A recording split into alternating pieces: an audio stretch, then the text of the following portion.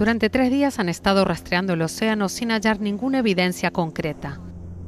El vuelo MH370 en ruta de Kuala Lumpur a Pekín parece haberse esfumado sin dejar huellas. Todos los esfuerzos no han logrado hasta el momento dar con alguna evidencia que pueda explicar qué ocurrió con la nave. Todavía no hay rastros de las 239 personas que viajaban a bordo, del artista Ben Chenabra, del ejecutivo de IBM Philip Wood. Y para los familiares reunidos en este hotel de Pekín, la falta de información contundente aumenta su angustia y estrés. La gente está aceptando lentamente esta verdad espantosa, pero mientras haya una pizca de esperanza, nos mantendremos aferrados a ella. Lo único que queremos saber es qué pasó, dice este hombre.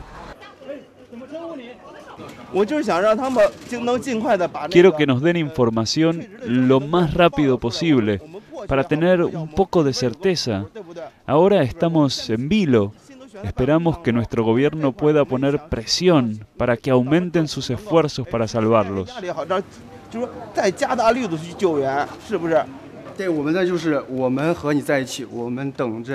Dice que nosotros estamos con ustedes, esperando que regresen a casa.